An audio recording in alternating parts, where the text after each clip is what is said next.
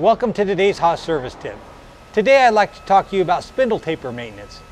We frequently get questions about what the best way is to keep tools from sticking in the spindle. The best way to do that is to make sure you properly maintain the taper on your tools. Make sure you keep your tools clean and in good condition. Pay special attention to the spindle taper and make sure it's free of any rust or debris. Frequently check your tools for any signs of wear or damage. Keep the pull stud and the taper properly lubricated with grease.